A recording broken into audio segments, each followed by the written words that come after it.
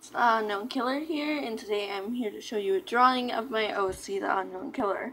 I'm coming up with a few more OCs, Stitch Up Katie, and the main leader of all of this um OC, well that's one OC. I have three new OCs, Stitch Up Katie, Kaylin the Living Doll, well I only have two, I lied. Kaylin the Living Doll is the leader of all of this. So yeah, are you ready to see the drawing? Okay, let's go.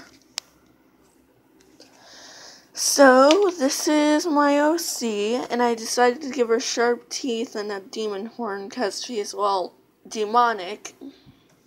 Um, because her parents made her that way.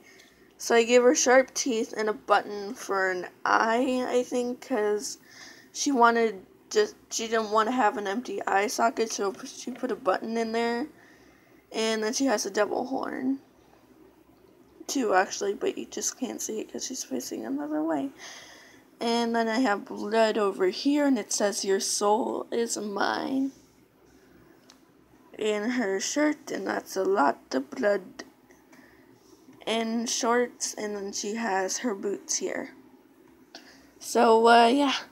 Let me know what you think in the comment sections and if I should do a drawing of your OC, creepypasta OC, like, you know, but anywho, um, I'll see you in the next video.